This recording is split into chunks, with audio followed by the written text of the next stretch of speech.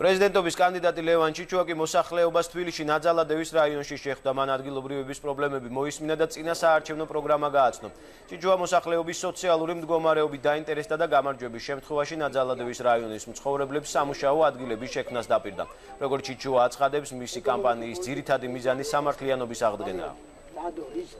ძალიან საინტერესო შეხვედრა იყო, დაინტერესდნენ ახალი სახით და საერთოდ მოლოდინი არის საზოგადოებაში, რომ აი ამ მოჯადოებული წრიდან, რაშიც აცლეულებია უკვე საქართველოა და ერთ და იგივე სახეების ყურებით, ერთ და იგივე დაპირებებით, მაგრამ არ შესრულებით შემდგომში ამ დაპირებების.